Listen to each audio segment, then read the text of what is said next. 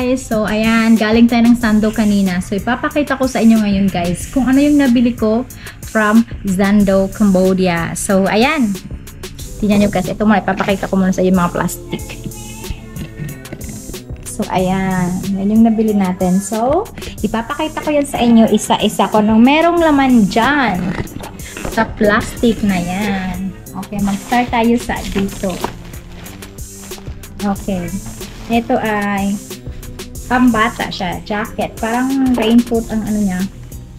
Ayan. It's only 6.59. Medyo mahal nga siya. Yan nata yung pinakamahal na nabili ko. At ito ay 0.59 lang siya. Ayan. Pambahay. At ito, ito talaga hindi naman sa akin. Binili ko to para sa kapatid ko na nasa Pinas. Ipapasalubong ko to sa kanya. And it cost only 2.59, 'di ba? Mura lang talaga siya. And then ito ay 0.95. Ayan. So, pangalawang plastic guys. ang daming plastic, ang daming nabili. Ito naman si Vantan. So, ito pa yung pinakamahal na nabili ko. Ito is 9.95 pero guys, mali naman yung nabili namin. Kasi dapat maganda nga siya, may bulsa sa likod, ang ganda ganyan. Pero nung sinuti Vantan, ito ay bumuka. Tinan mo naman no, para mag Ayan o, may style siya na ganyan. May alam ba kayo sa ganitong style kung ano to? so, yan. Ito din sa kanya din to kay Bantan. To? She is um, Barton Menswear. So, this is uh, 3.59 dollars. So, ayan. Ito naman siya ay palda. Pwede itong suotin sa simbahan kasi palda. Diba? And it's only 1 point. Yeah. Um, 1.95. Ito ay... Saan yung jacket mo pala Sabrina na sinot na nakaraan? Yung pa hindi pa, wala pa dito.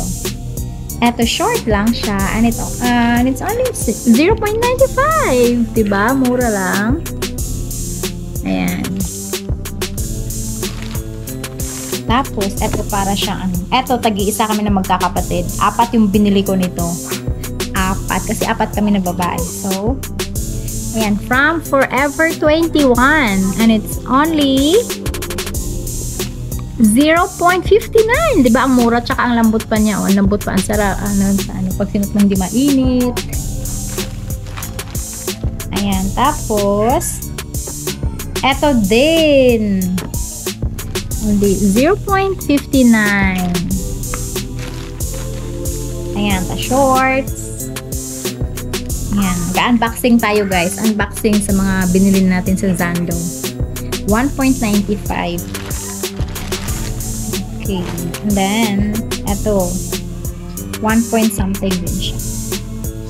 And then, meron pa silang ano dito. Zando.kh. Ito yun siya guys. Um, dito ako napunta kanina. Actually, dalawang tatlong beses ako nagpunta dun. Hindi ko kasi mabili-bili kung ano yung makaikot kasi dala ko yung mga bata. So, ito ay 1.59 lang.